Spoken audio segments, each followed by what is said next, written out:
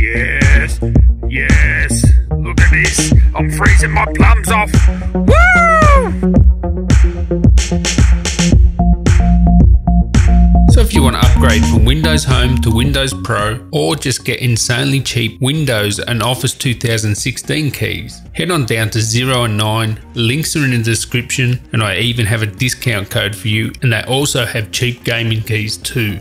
Okay, so $1,000 phone versus $150 phone. What is the difference? Well, representing the $150 phone is this Xiaomi Mi S2. $150. This thing is insanely awesome for $150. You will not believe it costs $150 and I'm actually filming now with the $1000 phone which is the Huawei P20 Pro. So later on I'll start filming with this actual phone here but just have a look at that display. It's a 720p display, has a Snapdragon 625, plenty of power, 3200 milliamp hour battery. Um, battery life is awesome because it has a 720p display. Now it does have that 18 by 9 ratio there, so you get that super tall display.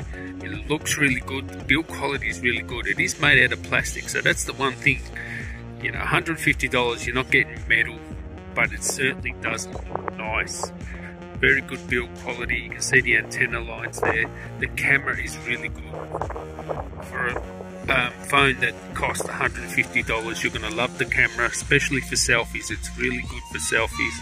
And just the camera in general it can only film full HD but the camera in general is really good. Um, you can use a third-party camera app and you'll be able to um, film 4K but you know what are you missing out on compared to a thousand dollar phone with this alright the display's not as good the battery life is not as good as the Huawei P20, but the battery life on this will probably be better than most thousand dollar phones or most expensive phones. Um, the display, as I said, it's not as good, but it's a good display. It's a cracking display. You know, for the price. I mean, yes, you can spend fifty dollars and you get a better display, but I'm outside now. You know, it's not super bright, as you can see. It is twilight, but um, you can see the screen very legibly. Um, so it is a great display. It's a great camera.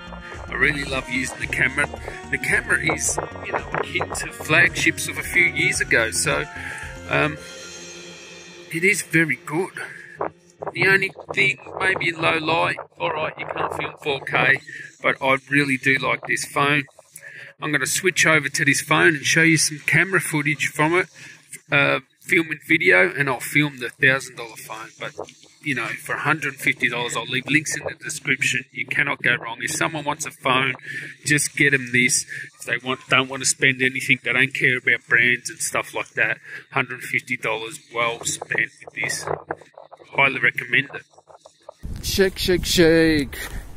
Shake, shake, shake. So this is the stability test with the Xiaomi S2. Now you can see how stable it is. I'm going to switch over to the Huawei P20 Pro.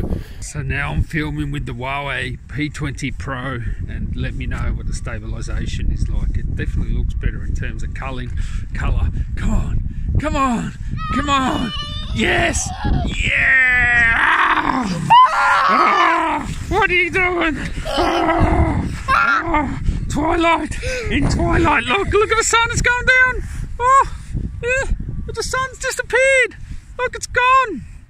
It just disappeared! No. Yes, it's gone! No! Hi. It's gone! No. When... So I am now filming with the Xiaomi S2 1080p video.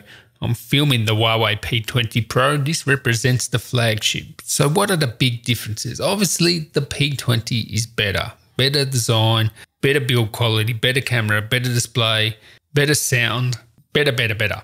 But do I miss anything with the $150 phone, the S2? And I have to say, using it for the last two weeks, I can say no, I don't miss anything. Maybe I miss a little bit the low light performance of the camera, but other than that, I get good cameras, I have a decent display, decent build quality, great battery life. It performs very well.